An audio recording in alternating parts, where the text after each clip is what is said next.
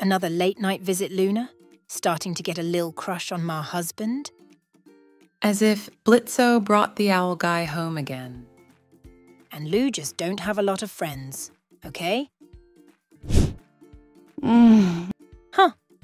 Oh! When I think about why I lost all my friends, I feel sick and shivered. Goosebumps all over my body. I was a bad friend. Unfortunately, don't worry, Luna. I know you better than you think.